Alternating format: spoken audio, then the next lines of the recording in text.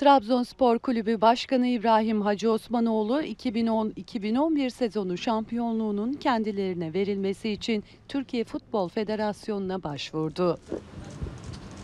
Sabah erken saatlerde federasyon binasına gelen Hacı Osmanoğlu dilekçesini verdikten sonra Türkiye Futbol Federasyonu Başkanı Yıldırım Demirören'le görüştü. İbrahim Hacı Osmanoğlu görüşmesinin ardından açıklama yaptı. topluma ahlaklı, adaletli bir şekilde nasıl hizmet edebilir onları konuştuk. Başkan vekilimiz de burada. Bizim kulüp olarak resmi müracaat yapmamız gerekiyordu, onu yaptık. İstediğimiz Türk futbolunun sağlıklı bir zeminde gelecek nesillere düzgün şekilde hizmet etmesi. Herkesin de bunun üstüne düşen görevi layıkıyla yerine götürmesi. Başkanla da konuştuk. Başkan vekiliyle arkadaşlarla da içeride konuştuk. Bu sorunlar kişilerle, kurumlarla değil, ahlakla alakalı.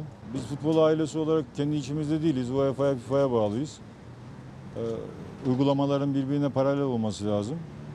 Ee, bugün UEFA'nın yaptırımları var, yarın FIFA'nın da yaptırımları olacak. Sonuçta ortada bir adaletsizlik varsa bu adaletsizliğin düzelmesi gerekiyor.